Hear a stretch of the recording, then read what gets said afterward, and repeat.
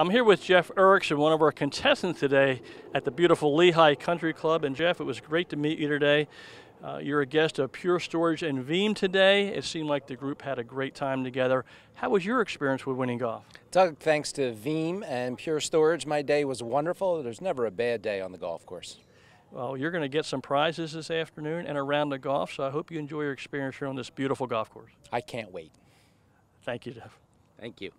Join Doug Hendricks for Winning Golf, Sundays at 7 on NBC Sports Philadelphia.